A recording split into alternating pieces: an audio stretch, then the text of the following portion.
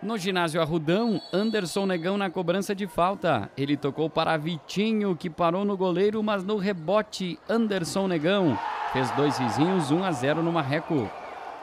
Ainda no primeiro tempo, Matheus no ataque. A bola sobrou para Otanha mandar no canto, 1 a 1. Na segunda etapa, Ligeiro foi ligeiro para enfiar a bola para Tirson fazer o gol da vitória.